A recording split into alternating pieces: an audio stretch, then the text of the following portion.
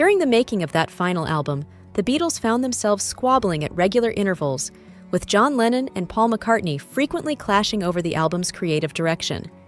They had each developed a strong, separate compositional style by this point and were eager to steer the album's flow.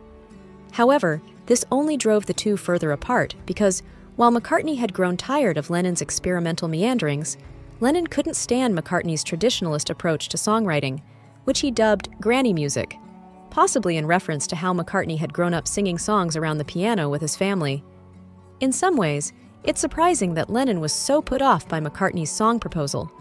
Like many of Lennon's greatest works, Let It Be was inspired by a dream in which McCartney saw his late mother. Unfortunately, when McCartney sat down to sing the now immortal refrain, Lennon only grimaced.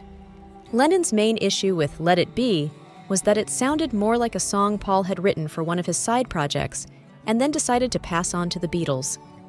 Lennon regarded Let It Be regressive, the type of music that would have been ideal in the mid 1960s, but felt outdated, uninteresting, and conservative by 1969.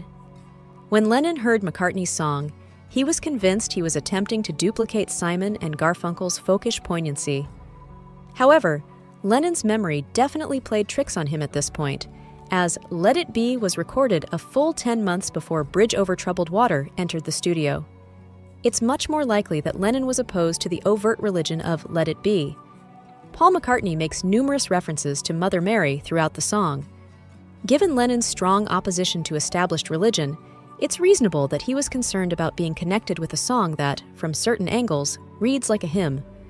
When Phil Spector was hired to finish Let It Be in 1970, he inserted audio of Lennon taunting McCartney's efforts. While Lennon disliked the song, the rest of the world definitely disagreed. When it was released, the track debuted at number one on the Billboard Hot 100 chart, becoming the Beatles' 19th top hit. Unfortunately, it would be the Fab Four's final single together,